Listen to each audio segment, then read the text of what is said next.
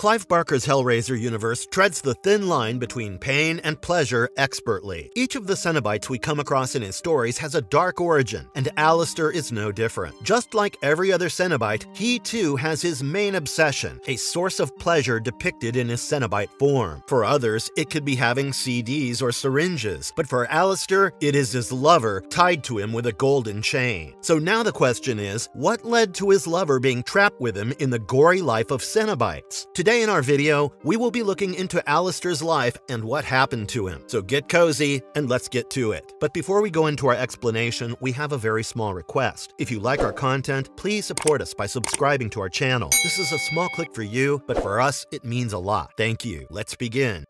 Alastor, from human to Cenobite. We're introduced to Alastor in the Hellraiser Nightbreed crossover comic duology titled Hellraiser Nightbreed Jihad. In the first issue, we meet Peloquin. Peloquin is a Nightbreed. They are the creatures of chaos. With his tentacled hair, Peloquin loses himself in the pleasure of his human lover's flesh. However, the thing is, his lover, Pats, is actually not single. She was in a relationship with Tony, who bought her the house we saw her and Peloquin in. Tony figured that Pats was cheating on him and decided to show up at the house, hoping to beat up both Pats and her lover. When Tony arrived at the house, he ordered his men to attack, but before they could, Peloquin jumped through the window. To Pat's surprise, Peloquin had no hesitation in attacking Tony and his men. He bit into one of the henchmen's kneecaps, causing blood to gush out, but refused to let go. Peloquin continued his brutal assault, injuring the henchman as a warning to Tony. In the midst of this chaos, Tony manages to get his hands on Pats and holds her hostage. He threatened to kill Pats, but before he can pull the trigger, at a moment's notice, Tony's hand holding the revolver falls to the ground. Peloquin threatens Tony, claiming he would be more than happy to give Tony his attention. Using this as a distraction, one of Tony's men manages to stab Peloquin in his back. Peloquin retaliates, killing the henchman swiftly. Tony, seeing Peloquin's back towards him, decided that now would be the time to murder him. Luckily, Pats noticed it and shot him dead before he could kill Peloquin. Pat brings Peloquin to safety, and the lovers recuperate from the event. And we see Pinhead and his Order of Gash. Nightbreeds and Cenobites exist in the same world, but they operate differently. Pinhead didn't have much respect for the Nightbreed, and their free reign in the human world frustrated him. So, in his next meeting with Leviathan, Pinhead raised the issue, pointing out the chaos they were causing. Right then, Alastor interjected in the conversation. Alastor is far too new to the Order to speak in front of Leviathan. He had roughly 6,500 years before he could be experienced enough to speak to the deity. Pinhead tries to stop him, pointing out the protocol, but Leviathan stops him. The deity wished to know what Alastor had to say about the Nightbreed. Alastor introduced himself and his rank, along with his own Order of Gash. With Chokes, Gehenna, Karun, Yama, Vodadu, and Asmodeva, Alastor's group was ready for a brutal fight. He told Leviathan that he and his order were the solution to the Nightbreed problem that Leviathan was searching for. He and his men could simply go out there and kill off all the Nightbreed. Leviathan agrees to his passionate speech and calls for a holy war, a jihad. Despite this being Alastor's urging, Pinhead ended up being involved in this jihad owing to his status as leader. After being insulted by Pinhead, Alastor and his cronies sit down to talk about their plan. We soon realize that he actually has some other motives for going back to Earth and going after the Nightbreed. Instead of solving just the box to open the gateway from Hell to Earth, Alastor was hoping to use the obsession of mortals as a gateway. So how does he make that gateway? Well, in the depths of Hell, there was a bull-like creature called Otsa. It obsesses over its own escape. It wants to break free and enjoy the taste of freedom like it used to. Alastor shows up there, and when the creature asks for respite, Alastor gives it eternal respite by smashing his hammer down its skull. The obsession for freedom leads to the gateway opening, and Alastor shows up on Earth with his cronies. The Nightbreed camp falls under attack. Pinhead and his trusted right-hand man, Chatterer, showed up at the Nightbreed camp just to witness the brutality of Alastor Alastor's attack. The whole group waged war on the unsuspecting Nightbreeds, almost getting the upper hand in the fight. Pinhead was not happy with Alastor's brutality. It was not up to the code of honor for the Cenobites. He told Alastor that what he was doing was wrong and that he would be answerable to Leviathan himself. But to that, Alastor reminded that even though Pinhead doesn't like it, the order of the Jihad came from Leviathan himself, and there is not a lot that Pinhead can do to stop him. Alastor even beats down Pinhead with his weapon, causing several of the pins to fall out. Before he could finish Pinhead, Chatterer grabbed onto the blade, breaking Alastor's stride. Luckily, the Nightbreeds were not unfamiliar with the Cenobites and the puzzle box. One of them managed to solve the puzzle box, forcing Alastor and his group to return to Hell. But before leaving Earth, Alastor warned the Nightbreed that while he was returning to Hell, there was another puzzle that was waiting to be solved. Once that one is solved, they will not be able to stop Alastor and others from receiving their death sentence.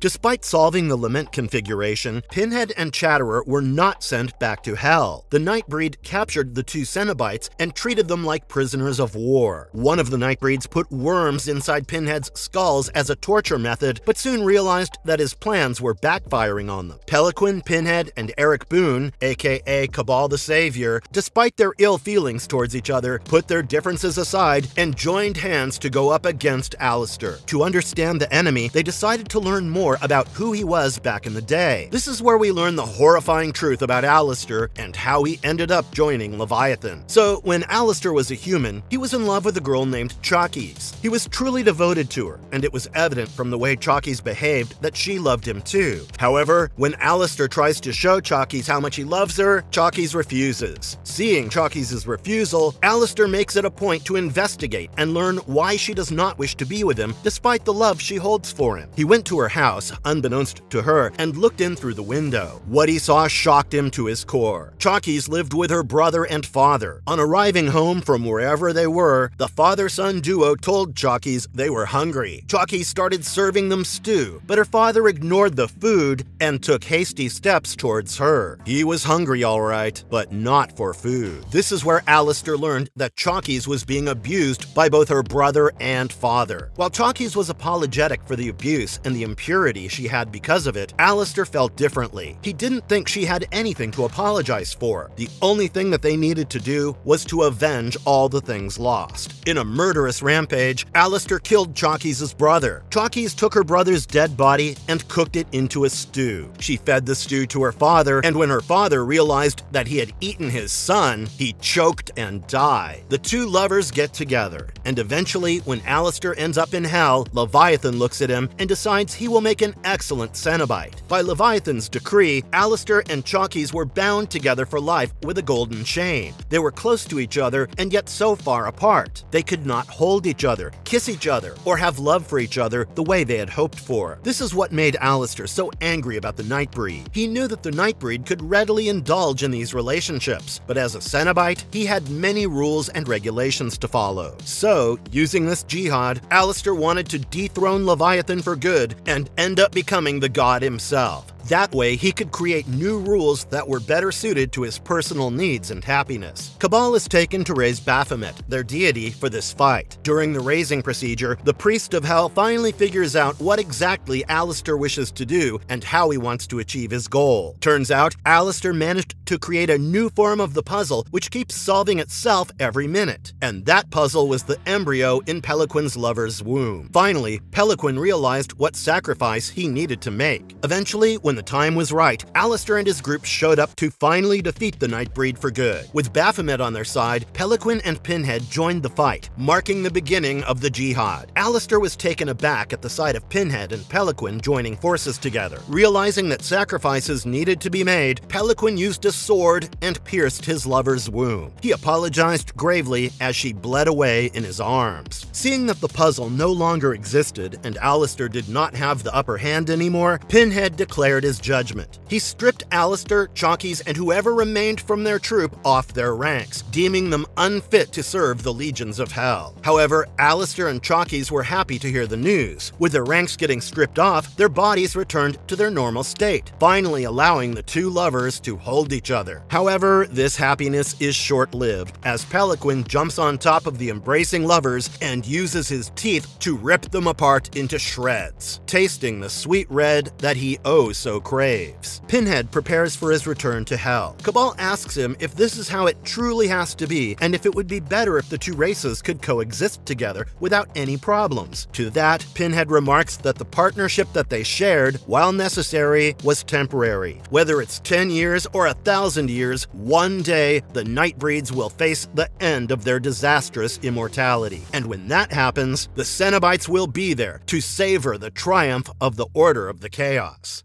Facts or truth? Interesting facts of Alastor. Alastor is this huge fat Cenobite with a tuft of hair seemingly coming out from the top of his head. He has a golden arrow sticking out of his head and a golden chain wrapped around his entire face. These chains act like decorative ornaments, and they are hooks that stretch Alastor's mouth open. On his back, you always notice a dark black blob with an owl mask. This is Chalkies. Other than her human hands with red nails, none of her human flesh remains. Her wings and tail tail are made up of human hair and not feathers. On her right hand, you would notice a golden band with a chain connected to it. That is the chain that wraps around Alastor's waist, binding the two lovers together. You will also see that right over Alastor's heart, there seems to be a patch of skin that differs from his skin tone and is stitched there with the golden chain. Other than that, Alastor has the signature piercings that all Cenobites have and is seen wearing a leather outfit. He has many gold rings on his body, and his weapon of choice choice is a battle axe. Now, the question remains, what led to Alastor's revolting against Leviathan and the Order of Gash as a whole? Well, it could be that he committed treason after listening to Doomsdayer's speech, expressing his doubts about the protection methods directed at Cenobites by Leviathan, but we can't be sure. Alastor also happens to be the one who discloses Chatterer's real name for the first time ever. For those who don't know it, it is Mictlantecuhtli.